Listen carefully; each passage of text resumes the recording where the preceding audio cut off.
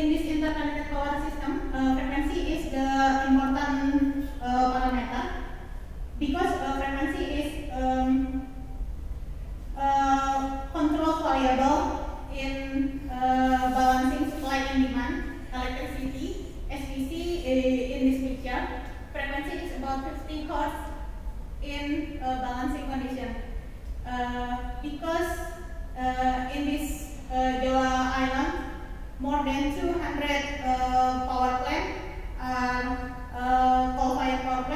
uh, beam capacity. So if one power plant trip, uh, the frequency will down to this red area. This is forbidden for power plant and of course for uh, consumer. As we see in this uh, graphic, when one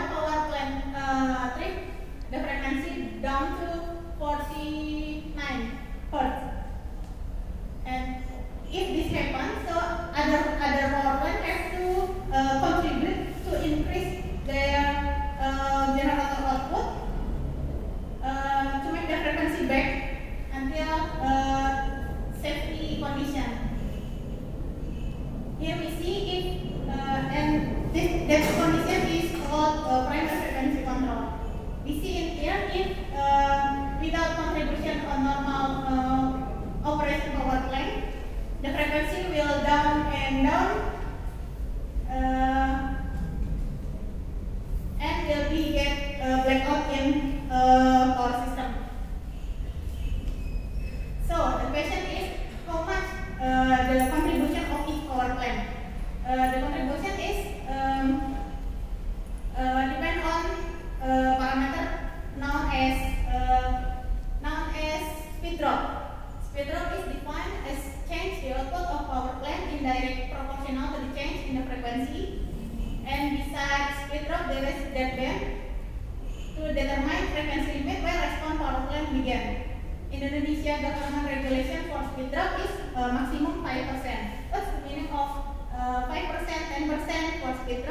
we can see in this uh, graphic.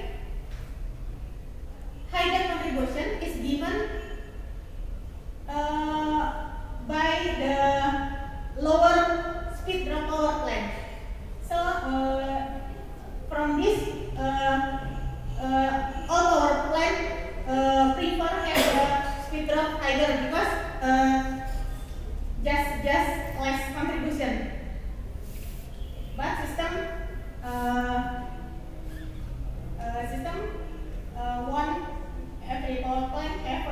they drop lower.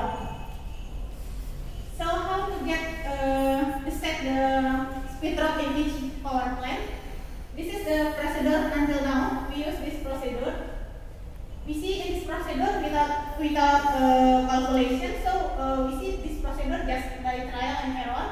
We see set uh, for the uh, in this procedure. Uh, speed drop. We set the speed drop and then if uh, disturbance by frequency deviation 0.1 until 0.3 and we monitor the main uh, parameter if there is no abnormal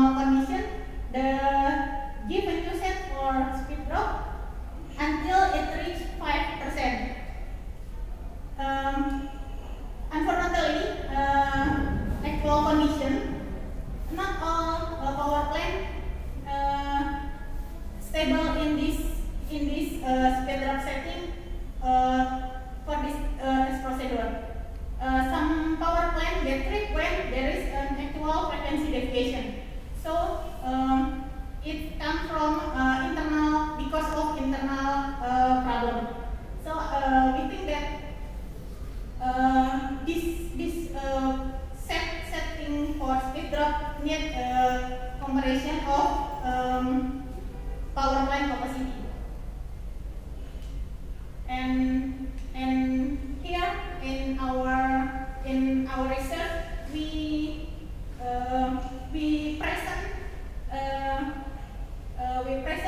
to, to, to get uh, how to get the uh, speed drop for each power plant, optimal speed drop.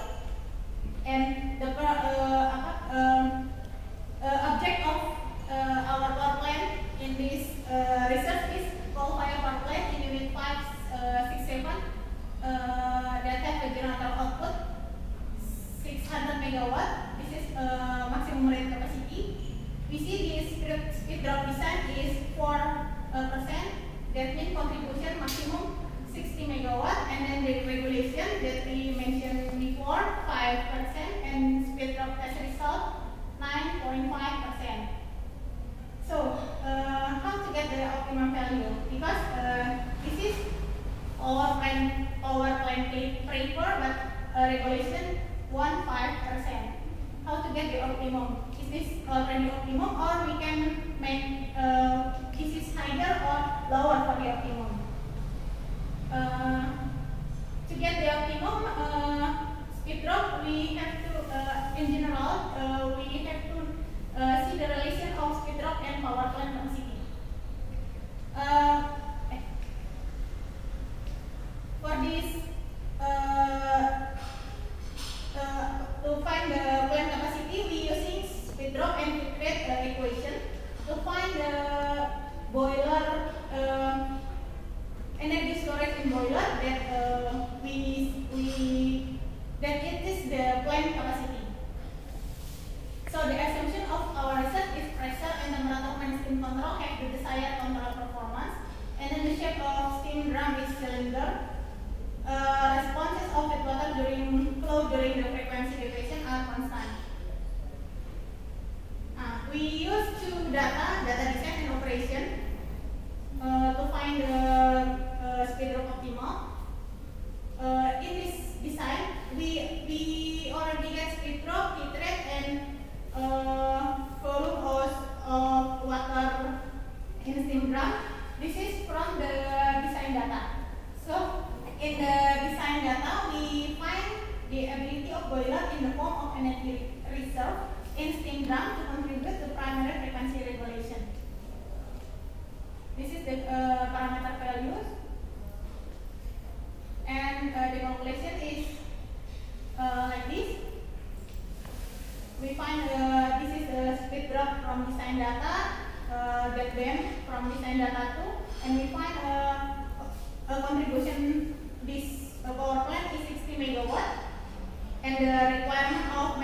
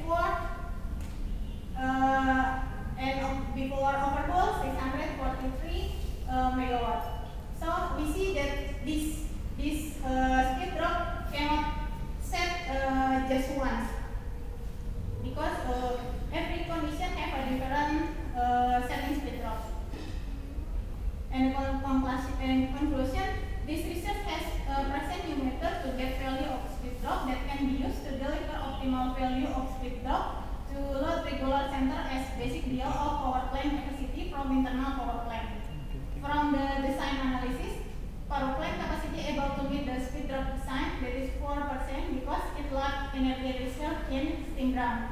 From the operation data analysis for unit 7 Suralaya power plant, Optimal speed drop value obtained 5.39% after overhaul and 7.18% before overhaul based on the analysis of capacity of the energy storage in the water stream process. That means unable to meet uh, the demand of speed drop grid code requirement maximum 5%.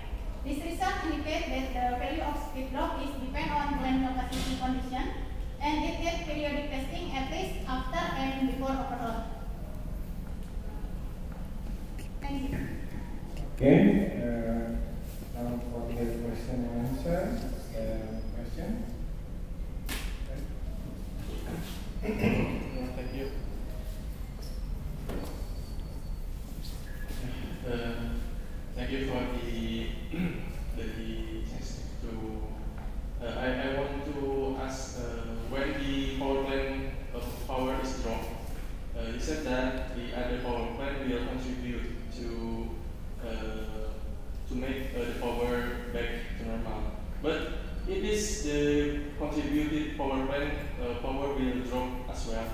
Because it uh, give the drop uh, power plant power. Uh, uh, here ya. Yeah. Uh, actually, power plant uh, prefer to uh,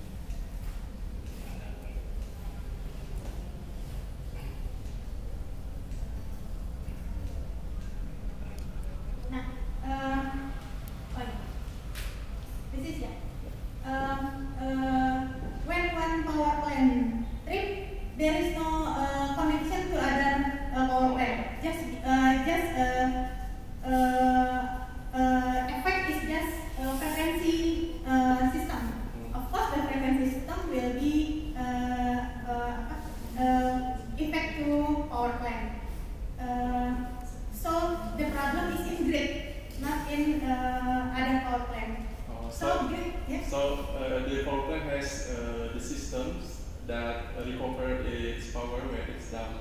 Yeah, Yeah. Yeah. Yeah. So it, it's included include it in one system. yeah, one system. This is uh, uh, uh, interconnected system. Yeah. Uh, you see here, yeah, in, interconnected, interconnected system. When in Jawa Barat,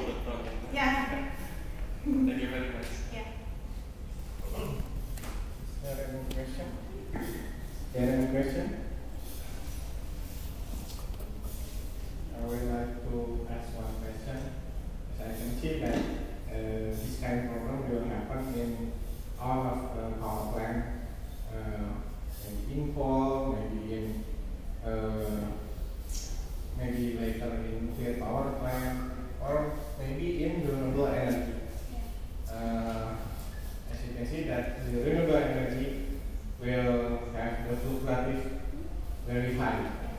So, uh, how about if we have a large renewable energy power plant system, say about 100 megawatt, and interconnected to the West Java uh, grid system, how would it affect? Yeah. Uh, I think it's same with the other problem, it must have a, a speed drop uh,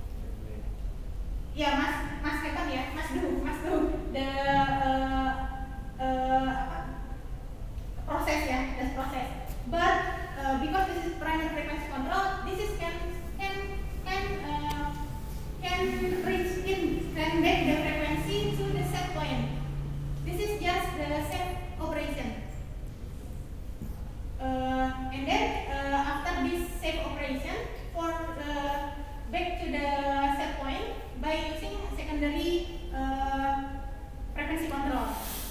Di secondary frequency